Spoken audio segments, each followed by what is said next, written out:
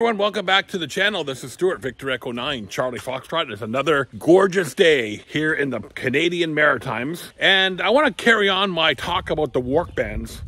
I've been sharing a couple videos on the bands, how they got established, uh, no contests, all that good stuff. And today we want to dig a little deeper into the 30 meter band. And um, why is SSB not allowed on 30 meters? Well, and some areas of the world, South Africa, for one, allows SSB on 10 meters during daylight hours only. And Australia also allows SSB on 30 meters, but I just don't know if there's any time restrictions to that one. But the majority of the world doesn't allow SSB on 30 meters. So why is that? Well, the 30 meter band is a very, very small band and SSB is known to be wider than say digital and CW. So if you had SSB on 30 meters, there'd be a lot of interference. And one of the main reasons is to minimize interference on the band. So here in Canada, 30 meters is uh, CW and digital only, no SSB, SSB, SSB, SSB, no SSB.